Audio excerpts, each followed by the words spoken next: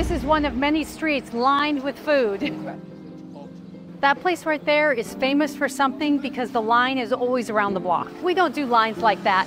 Kimberley Street's located in the heart of Georgetown. It's a true cultural melting pot, as evidenced by the wide variety of street food, architecture, and religious buildings here.